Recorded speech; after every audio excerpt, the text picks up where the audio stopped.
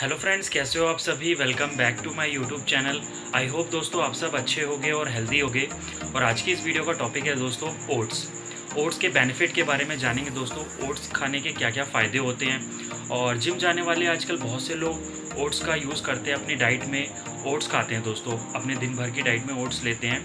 जानते हैं दोस्तों उसके क्या बेनिफिट्स हैं, उसके अंदर क्या क्या ऐसी न्यूट्रिएंट्स होते हैं, जो कि हमारे शरीर को फ़ायदा पहुँचाते हैं। तो वीडियो स्टार्ट करते हैं। दोस्तों, ओट्स को हिंदी में जई बोलते हैं और दलिया, इसे तोड़कर दलिया बनता है दोस्तों।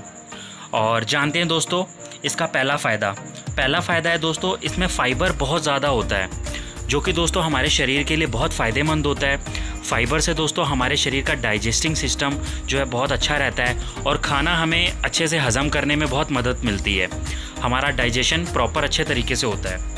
और दूसरा फ़ायदा है दोस्तों, इसमें फ़ैट बहुत कम होता है। फ़ैट कम होता है तो दोस्तों इसका मतलब ये है कि बहुत फ़ायदेमंद होता है ओट्स, क्योंकि हमारे शरीर में चर्बी जमने नहीं देता है। और तीसरा फ़ायदा है दोस्तों, ये वेट गेन करने में और मसल जो बॉडी बनाते हैं, जिम जाते हैं, मसल बिल्डिंग करने में भी बहुत हेल्प करता है।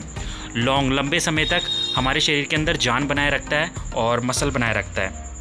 इसमें दोस्तों कैलरी बहुत ज़्यादा होती है चौथा फ़ायदा है दोस्तों, ओट्स में बहुत सारी एनर्जी होती है, जो हमारे शरीर को बहुत एनर्जी प्रोवाइड करता है। हमारे शरीर में पूरा दिन एनर्जी बनाए रखता है दोस्तों, हमें थकान महसूस नहीं होती है। और पांचवा फ़ायदा है दोस्तों, ओट्स को पानी में ले सकते हैं, पानी में लेने से ज़्यादा फ़ायदेमंद होता है। और छठा फ़ायदा है दोस्तों, ये कब्ज को दूर करता है। और सातवां फ़ायदा है दोस्तों, ये कोलेस्ट्रॉल को भी कम करता है। तो दोस्तों, ये थे इसके बहुत अच्छे बेनिफिट्स और जो कि आजकल ये दोस्तों बहुत ज़्यादा फ़ेमस भी है ओट्स खाना। और आई होप दोस्तों आपको वीडियो अच्छी लगी होगी। वीडियो अच्छी लगी हो तो दोस्तों वीडियो को एक लाइक कर देना और चैनल को सब्सक्राइब करना मत भूलना।